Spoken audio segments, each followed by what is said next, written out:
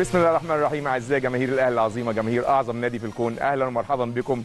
وحلقة جديدة من الاستوديو التحليلي على قناتكم قناة النادي الأهلي. ومباراه مهمة جدا للنادي الأهلي بكأس العالم للأندية أمام سياتل بطل أمريكا في ربع نهائي البطولة اللي بيلعب فيها الكبار. وبس ودايما بتلاقي النادي الأهلي وسط الكبار. مباراة صعبة مهمة جدا وزي ما قال كابتن سيد عبد الحفيظ مشوار البطولة الحقيقي يبتدي النهارده. لأن عمر النادي الاهلي ما كان بيلعب في الدور التمهيدي فالمشوار بيبدأ النهارده. هنتكلم كتير عن الأمور الفنية خصوصا إن هي أول مواجهة بين النادي الأهلي وفريق أمريكي وأول فريق أمريكي كمان بيلعب في آه، كأس العالم للأندية. إنما أنا مش هتكلم غير عن الأهلي وكأس العالم للأندية زي ما قلت لحضراتكم. لأن أنا مش فاضي أرد على أي حد أو حد يعني مش عايزين نقول الصغائر مش عايز أقول كلام إيه لا يليق مش عايز أقول كلام لا يصح لأن دايما النادي الأهلي ما بيتكلمش بره الملعب. النادي الأهلي رده دايما بيكون جوه الملعب. لكن الحقيقة أنا عن نفسي استوقفني بعض التصريحات لعضو مجلس إدارة اتحاد الكورة. هقولها على السريع لأن أنا مش فاضي إن أنا إيه أعلق كتير قوي على الكلام ده. العضو أو عضو مجلس الإدارة هو إيهاب الكوم. بصراحة تصريحات كارثية بعيدا عن صحتها أو عدم صحتها. الاثنين واحد على فكرة بالنسبة لي. النادي الأهلي بيمثل مصر وإفريقيا في كأس العالم للأندية.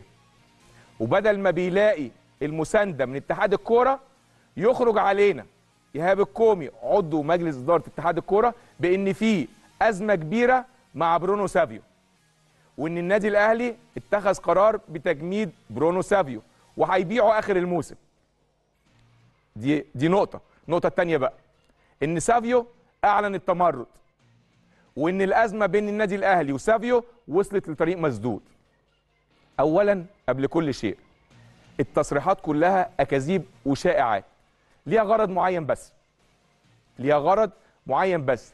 تهديد استقرار الأهلي. وده وقته أيضا ده وقته انت كعضو مجلس إدارة اتحاد الكورة.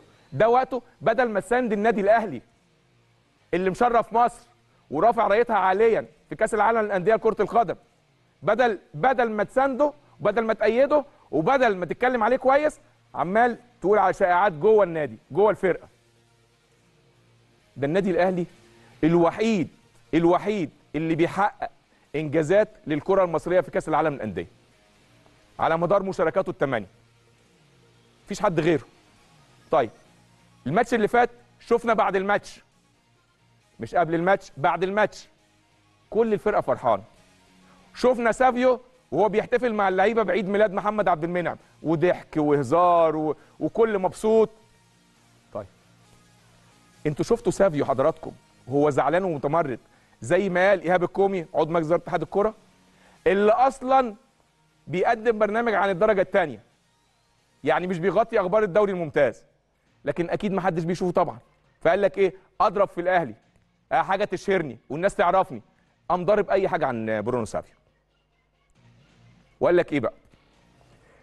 الغريبة إن سافيو هو السبب في عدم ضم لاعب برازيلي للنادي الأهلي. لأن سافيو بلغ اللاعب البرازيلي ده اللي هو سافيو على علاقة بيه إن المرتبات في مصر مش مستقرة للاعبين الأجانب. فالأهلي عرف فقرر يجمد سافيو. دي القصة الوهمية اللي أهلها ايهاب الكوم جاب القصة دي منين؟ محدش يعرف. مين اللي قال له عليها؟ محدش يعرف. بس هو إيه؟ ضربها بس كده للشهرة على حساب النادي الأهلي وخلاص. ده تعودنا عليه. لكن الغريب إحنا تعودنا عليه من ناس ثانية الغريب إن أنت مسؤول في اتحاد الكورة. مسؤول في اتحاد الكورة. المفروض إنك تدعم النادي الأهلي. لكن قبل ماتش مهم زي ده وتطلع إشاعات زي دي هي دي فعلا مساندة. ومساندة مهمة جدا من اتحاد الكره في وقتها. زي مساندة إخفاء خطاب تنظيم نهائي دوري أبطال أفريقيا السنة اللي فاتت. فاكرينه طبعا. وفاكرين دور وليد العطار. طب في سؤال تاني لإيهاب الكومي.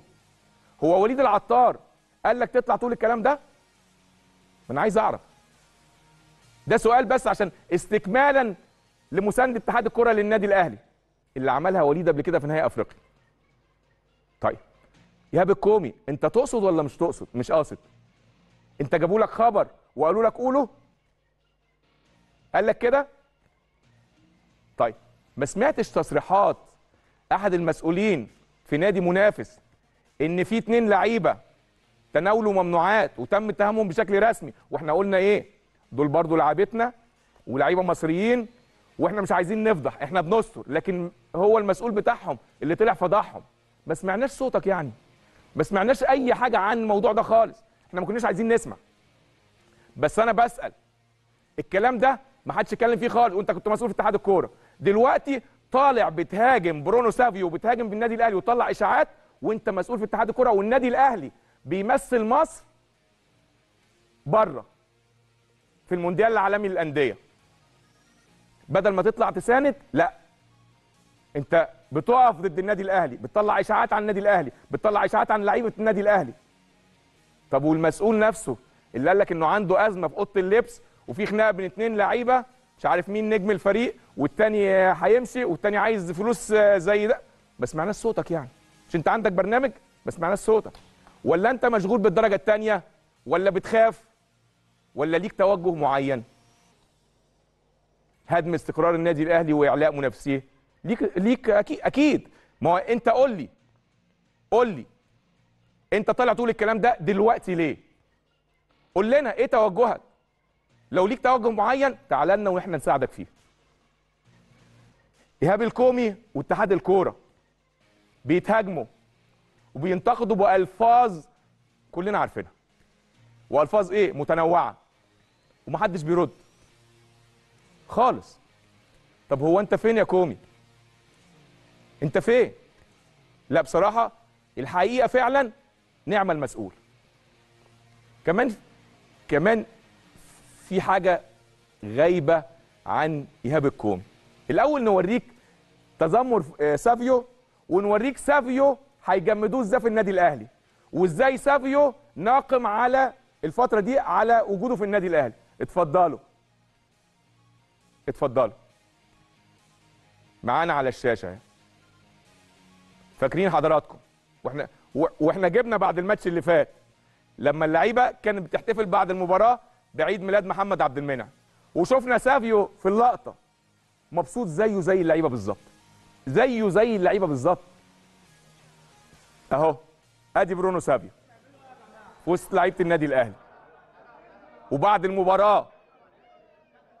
خلي بالك حضرتك المشاركة أو عدم المشاركة دي رؤية فنية للجهاز الفني. والراجل ما اعترضش عليها. ولا لعيب في النادي الأهلي بيتدخل فيه على فكرة. ولا حد من بره المنظ... من بره النادي الأهلي بيتدخل فيها أو بره الجهاز الفني. مفيش حد من المنظومة بيتدخل فيها زي أو عكس أندية تانية. عارفين حضراتكم طبعا. في ح... في حاجة كمان غايبة عن إيهاب الكومي عضو مجلس إدارة اتحاد الكورة. هو حضرتك وغيرك من أعضاء اتحاد الكورة. مش مخالفين للوائح الاتحاد الدولي اللي هو الفيفا واللجنة الأولمبية الدولية اللي بتمنع أي عضو في اتحاد الكورة إنه يشتغل في الإعلام؟ ده اختراق واضح للوائح. وإنت نفسك إنت نفسك المسؤول في اتحاد الكورة بتنصح الرياضيين ده, واجبك إنهم يلتزموا باللوائح والقوانين وانت أول واحد مش ملتزم بيها كعضو ومسؤول جوه اتحاد الكورة. بالذمة مش مكسوف مش مكسوف من ده مش مكسوف إنك بتخالف اللوائح. أنت بتطالب الناس بالالتزام وأنت نفسك وبعض أعضاء مجلس إدارة اتحاد الكورة بيخالفوا اللوائح. وكمان غير كده أنت بتطلع في برنامج يومي. أنت بتطلع في برنامج يومي. أنت وغيرك. بتنشر أخبار وأسرار اتحاد الكورة في الإعلام. طب ده معنى كده كمان إن مفيش مبدأ تكافؤ الفرص مع الإعلاميين الآخرين اللي شغالين في قنوات تانية اللي هم مش شغالين في اتحاد الكورة. طب ما لو ما نشرتش أخبار اتحاد الكورة تبقى خيانة للقناة اللي أنت شغال فيها. لأنك أخفيت معلومات في مجال الرياضة اللي أنت بتغطيها ولا تنشرها. هيضعف البرنامج طبعا. لو أنت ما نشرتهاش هيضعف البرنامج فده خيانة. طب واللي أنت بتعمله في اتحاد الكورة؟ وتطلع تقول أسرار اتحاد الكورة بالليل. في البرنامج بتاعك. هو ده مش خيانة؟ اللي اللي إحنا اللي إحنا بنتمناه إن اتحاد الكورة بتاع بلدنا يكون محايد ويلتزم باللوائح والقوانين. يلتزم باللوائح والقوانين اللي بيعاقب عليها اللاعبين والأجهزة الفنية بسبب اختراقها. ده اللي إحنا بنقوله. طلع علينا برضو مسؤول عن إحدى الفرق في الدوري الممتاز وقال لك إيه؟ ده برونو سافيو عامل مشاكل في النادي الأهلي وإحنا بنجيب لعيبة وهم راحوا جابوا مش عارف لعيب آه، برازيلي بقد كده وكلفهم كذا والراجل ده قاعد هنا بيتفرج على ماتشات كأس العالم للأندية. قاعد في القاهرة يعني قاعد هنا في القاهرة بيتفرج على ماتشات كأس العالم. عموما أنت زيك زي اللي بيتفرجوا على النادي الأهلي في كأس العالم للأندية. عشان تعرف سعادتك المسؤول ده المسؤول عن إحدى الفرق المنافسة. سافيو موجود مع النادي الأهلي في المغرب. ما بيتفرجش على كأس العالم للأندية من تلفزيون بيتهم. لا. ده أصلا مشارك مع الفريق ولكن مشاركته في الملعب دي رؤية فنية مسؤول عنها المدير الفني. فالراجل اولا بيتفرج على الماتش آه زيك زيه. بس أنت اللي بتتفرج من القاهرة. وأنت بتتفرج من هنا زي ما مسؤول برضو للأسف أحد أعضاء مجلس إدارة النادي المنافس قال لك إيه. شوفوا الناس كلها بتتكلم عن الأهلي إزاي وبعض الأندية المنافسة المصرية المصرية بعض أعضائها يقول لك إيه الأهلي مش من حقه يروح كأس العالم للأندية. الاهلي ما كانش حقه إن هو يلعب بطولة أفريقيا اللي فاتت. الاهلي ما يستاهلش انه ده كان بيلعب فرقة تعبانة الماتش اللي فات. ده أنت بقالك 8 مرات في مشاركات الأهلي الثمانيه بتتفرج على النادي الأهلي هنا. بتتفرج من بيتكو. بتتفرج من أي كافيتيريا على النادي الأهلي. ممثل مصر اللي رافع راس مصر اللي معلي راية مصر. بص الناس كلها بتتكلم عن النادي الأهلي إزاي. بص الناس بلاش أقرب حاجة الماتش اللي فات. بص العرب كلهم والمغاربة الإخوة المغاربة بيتكلموا عن النادي الأهلي إزاي. بص كانوا بيشجعوا النادي الأهلي إزاي. معلق المباراة السعودي كان بيتكلم عن النادي الأهلي إزاي. ويجي إخواننا المصريين بيتكلموا عن الأهلي إزاي. البعض ما بقولش كل طبعا بقول البعض بيتكلم عن النادي الأهلي إزاي.